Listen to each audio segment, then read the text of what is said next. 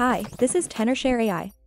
Nowadays, many people use AI like ChatGPT or other chatbots to help them write article, blog post, or even essay. AI was doing well in the beginning, but soon AI content detection came out, which helps spot things like deepfakes, AI written text, or even fake reviews. This can frustrate a lot of people, so today I'm going to teach you how to bypass AI detection. Before we start, remember to subscribe to my channels, I'll be posting a lot of videos on how to use AI tools to improve your work and learning productivity, which are really useful. So let's go. Actually bypassing AI detection is really very simple. You just need to use to a tool called TenorShare AI Bypass. You can find its link in my description.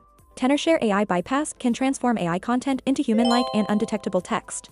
It says it can generate 100% plagiarism-free, human-like text that bypasses AI detectors like Turnitin, GPTZero. So next, I'm gonna show you how to use it and also test it to see if it can really bypass AI detection. Let's find out the result together.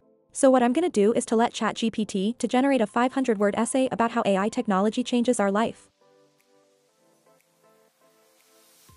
And then we'll copy and paste our essay into one of the AI detectors to see the results. So let's try GPTZero. We paste it here and run the scan. Now we can see the result as we are highly confident this text was AI generated and 100% probability AI generated. That's correct. And now we can open TenorShare AI Bypass. You can search in the Google or click the link in my description. So choose the first one. And then we will come to its home page. Scroll down we can see the Try Bypass AI for free. Click it, and now we come to its dashboard. We can see that at the top there are three modes, Fast, Balanced and Ultra Enhanced. I will just go with Ultra Enhanced. I'm going to paste the text here. And there are two buttons, Check for AI and Humanize.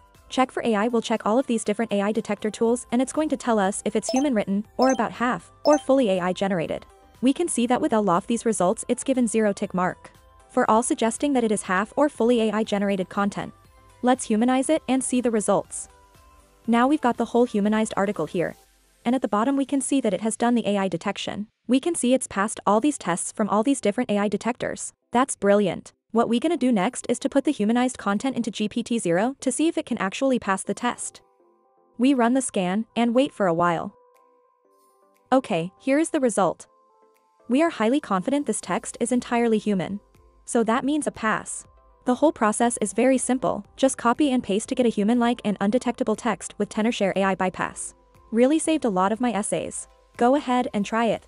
So that's all for today's video. Don't forget to like and subscribe. See you next time.